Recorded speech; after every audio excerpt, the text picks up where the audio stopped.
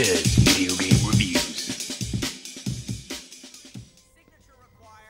Jordez here, and I'm going to help you take down the psychopath, Carl, in Dead Rising 2.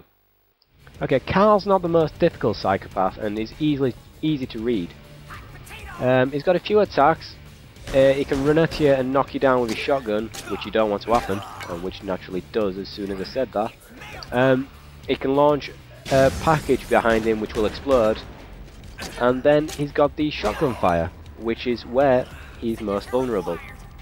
As you can see, he can fire off three rounds with his shotgun, but you may notice that after he's fired the first one, he doesn't change direction. So if you avoid, avoid that first uh, shotgun shot, then you're free to run up to him at any angle and knock him over, which is what you've got to do. Okay, you want to be using um, a pretty powerful weapon, you know, um, Nailbat comes in handy as ever, and every time, uh, sorry, you've got to run up close to him, uh, goad him into shooting with his shotgun, avoid everything that he drops, because those packages will probably be where you lose your health the most.